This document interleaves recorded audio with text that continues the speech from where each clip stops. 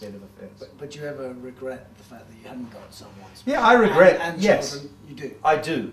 I regret that, and I regret not having children because I mean I've got 14 godchildren, and everybody says I'm good with kids, which I am. I like kids, uh, though it's easier to like them when you can give them back at seven o'clock at night, you know, to their parents.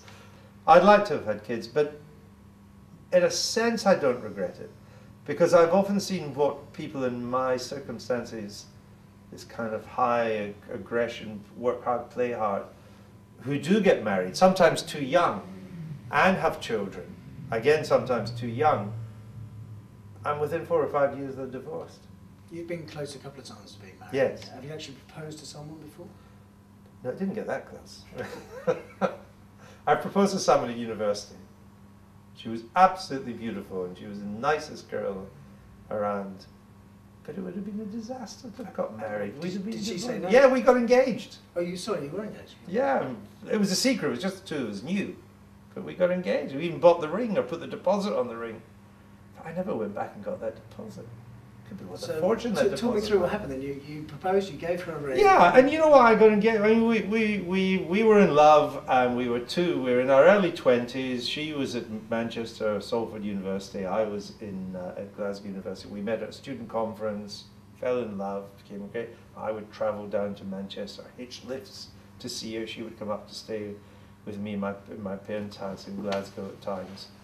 And my best friend was getting had got engaged, and it just seemed the natural thing to do. And then it was after I got engaged, I realized this was crazy. I was in second year at university. I didn't know what I wanted to do, and that this would end in, in tears. So it was better to break it. And it would have So done. you broke the engagement off. yeah, How did she take that? not well. But then you never do. And a couple of other times What I was got. her name? Oh no, she's a private private individual. You know better than to ask that. And a couple of other times that I came close to getting married, on both these occasions, I, I'm, I'm glad that I didn't because I, I, when I look back or I see how things have developed with them, it would not have lasted. And I think in this modern world, what I, what I would have looked for is probably unattainable now when you look at how so many marriages end in uh, failure. That uh, I always thought if you get married, it should be forever, and I think you particularly owe that to the kids, uh, because of my background was like that. It was solid and so on. I just think it's so hard in today's world. Can I quickly ask you? Yeah. Because it would be rude not to about the private eye photograph that keeps turning up. Yeah, is it, does it still appeal though? Because I don't see the eye. I was at a private eye lunch a couple of weeks ago. It wasn't as full of delicious gossip. Maybe I didn't have a good day.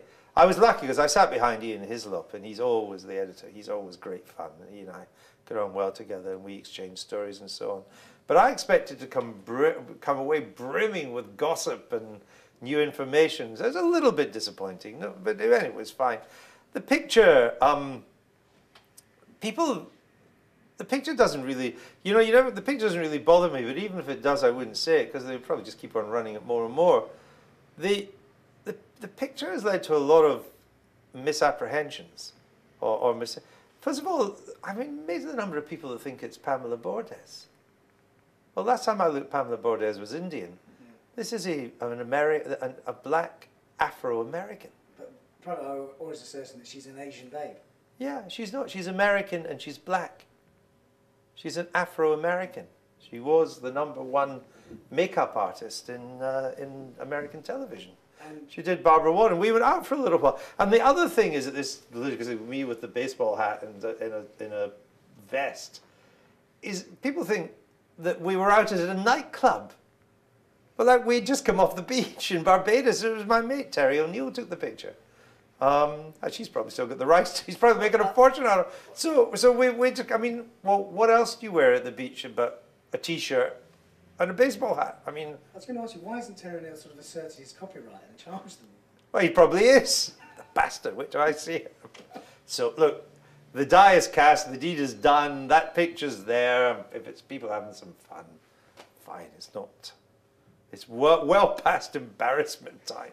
And the nickname Brillo Pad, how do you how do you view that now? That's the same thing. That's just gone into the. It's gone into the um, lexicon. Has anyone ever called you Brillo Pad to your, to your face? And, uh, Oh, I think so. A couple of times, somebody wanted to think they were being offensive. Though I saw on Wikipedia at some stage, somebody changed it, that, that, that I was called Brillo Piper because I wore a wig.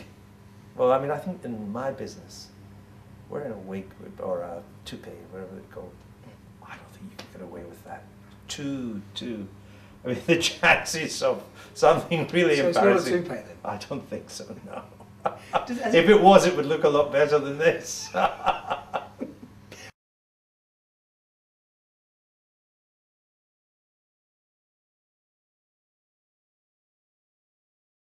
One very last question. Imagine you were cast adrift in a Hmm. life raft with Michael Portillo and Diana Abbott. Diane Abbott. Mm. Who would you throw overboard, keeping in mind that the one remaining you'd sooner or later have to eat to survive? Oh, then you'd have to throw Michael over first, if that's the condition. Because you'd survive longer on Diane. As I said, Andrew Neil, ladies' man with a big appetite. exactly, you knew it was a setup.